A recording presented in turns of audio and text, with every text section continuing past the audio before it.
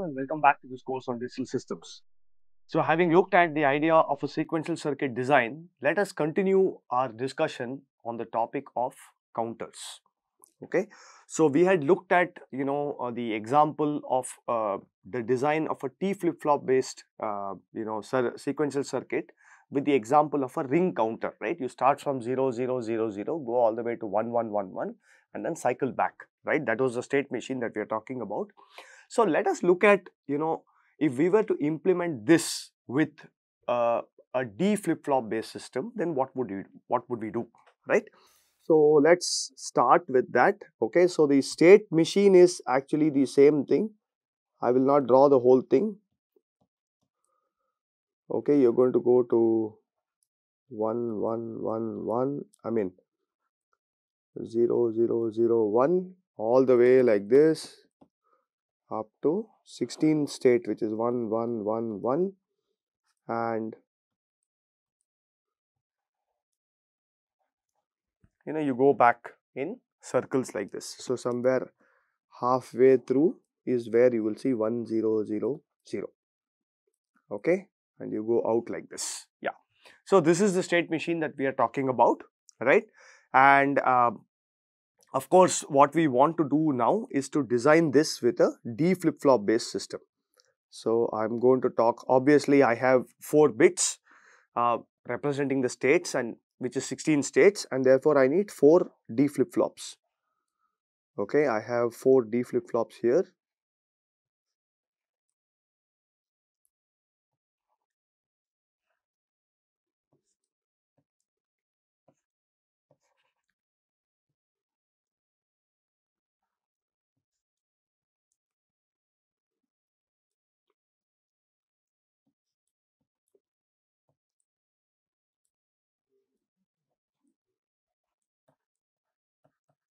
okay and then you have the inputs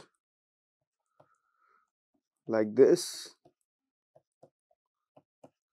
Uh, I'm going to call this D0, D1, D2, D3 and my outputs are going to be Y0, Y1, Y2 and Y3 okay so I'm going to design the uh, system based on this. And uh, we are also going to assume for now that the system is somehow reset and it starts in um, actually it doesn't have to be that. Uh, no it has to start in the state 0 0 0 0 right? We are going to assume that initial state okay? So let us look at the design now. Present state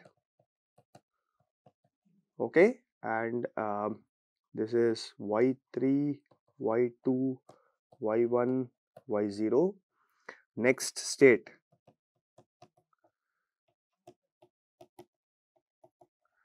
Okay is you know again it is going to be y3 i would say the next state is going to be the inputs d3 d2 d1 d0 right? So if this is 0 0 0 0 i want to go to 0 0 0 1 0 0 0 1 then I go to 0 0 1 0 0 0 1 0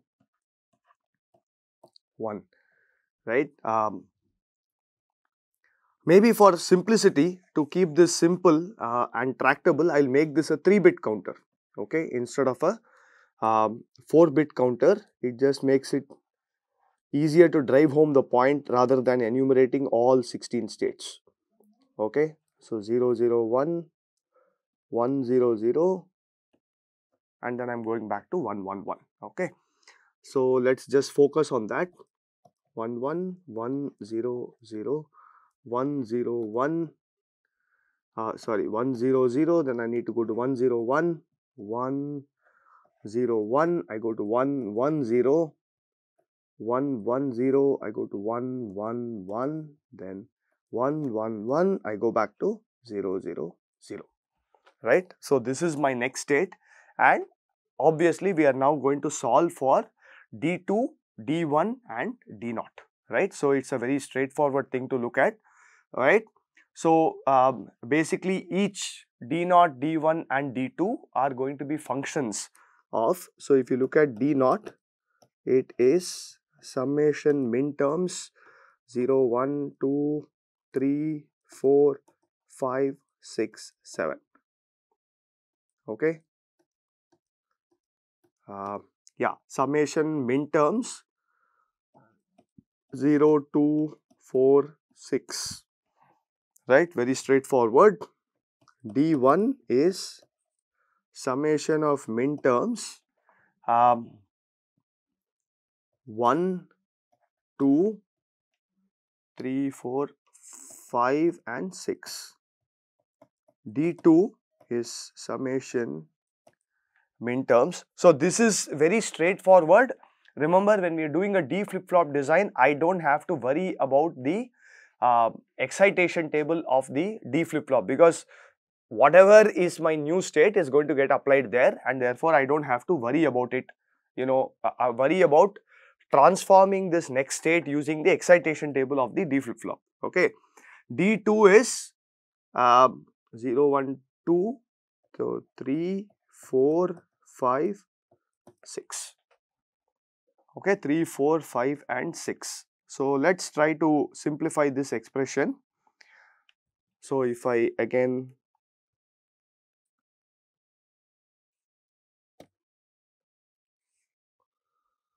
So, this is my y3, y2, y sorry, y2,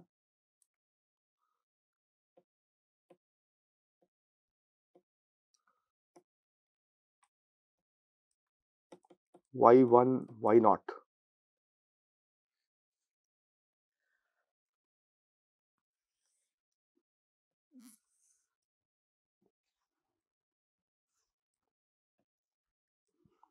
Y1 bar, y0 bar, y1 bar, y0, y1, y0 bar, y2 bar, y2.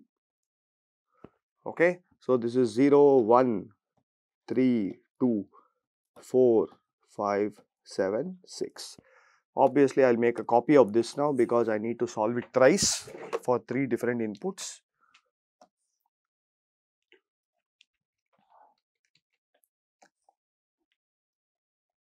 Okay? So uh,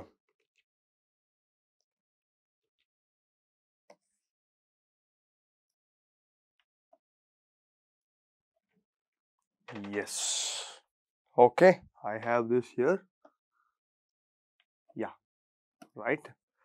So now what am i going to do? I'm going to look at d naught okay which is my d naught which is m of 0 to 46 yes 0 to 46 okay? 0 2 4 and 6 right? So this is a very straightforward boolean simplification. K-map you just do this and you get the answer as y naught bar okay? D1 uh, sorry this is d naught D1 on the other hand is going to be 1, 2, 5 and 6. Okay, 1, 2, 5 and 6 and therefore this again is very straightforward. You have two of these and therefore it simply becomes uh, yeah this is interesting. So it is just y1 bar y naught plus y1 y naught bar okay let's keep this or we can write this as y1 xor y naught d2 on the other hand uh, sorry this is supposed to be in magenta. So y1 bar y naught plus y naught y1 y naught bar which is y naught xor y1 d2 on the other hand is going to be 3, 4, 5, 6, right. So, this is just 3, 4, 5, 6 and therefore, um, 3, 4, 5 and 6, right. So, uh, one two three yeah so let me look at this again so i am talking of uh, 0 0 1 0 1 0 yes so 1 0 1 yeah okay right? So i have d2 okay which is going to be uh, i can group these i can group these okay and uh, i don't think you can do anything with that uh, y1 y not okay? That nothing can be done about it okay? So if you look at this what we are basically saying is d2 is going to be equal to um, y2 times y1 bar okay? Plus y2 times uh, the end y naught bar. Plus y2 bar times y1 y naught okay or this can be written as y2 into uh, y1 bar plus y naught bar plus y2 bar y1 y naught. Okay so let us keep this in mind right? And then we can of course you know we can go ahead and put in the logic gates that are needed for this particular implementation. This is very straightforward so for example if you take this um, if you take this implementation here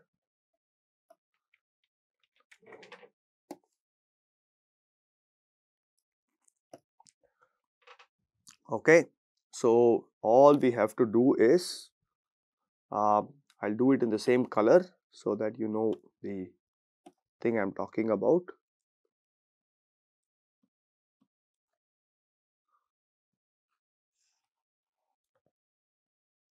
right? So this is simply going to be uh, wait.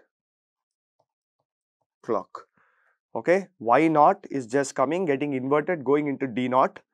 Then y1 and y naught have to get XORed, right. So, in magenta,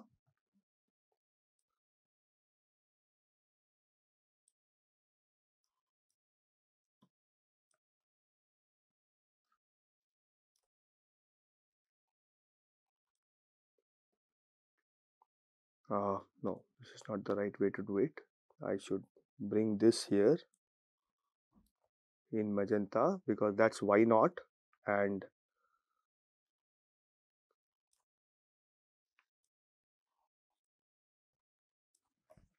so this is y naught y1 XOR okay? Now d2 is a slightly more complicated expression right? Which is basically if you look at this thing I can write this as y2 y2 and y1 y naught whole bar right? I'll use de morgan's laws and make this y1 bar plus y naught bar as y1 y naught whole bar okay? Plus y2 bar into y1 y naught okay? Uh, so if you look at this what are we talking about? If you look at uh, you know we are talking about an XNOR between um, this thing. Okay so we'll just draw this as it is okay? I have y1 y naught yeah. I'll draw an a nand gate here. Okay which will give me y1 y1 y naught whole bar okay so i'm going to get y naught from here y1 from here okay? And then I'm going to so what I have here is the output of that NAND gate is y naught y1 y naught whole bar. And if I invert I'll get y1 y naught from there okay now what I have to do of course is to multiply this to put an AND gate here okay? And an AND gate here as well okay? And then an OR gate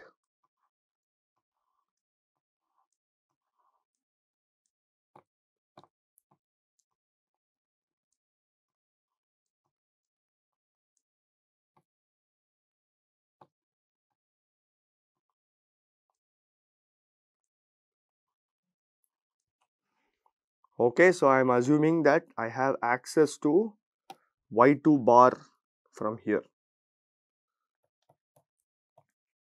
Okay so basically i i need y2 from here. Okay so i will just label that here okay as y2 and this one as y2 bar. Okay i'm not drawing those lines but effectively this is the circuit implementation that we get if we were to do the d flip flop based implementation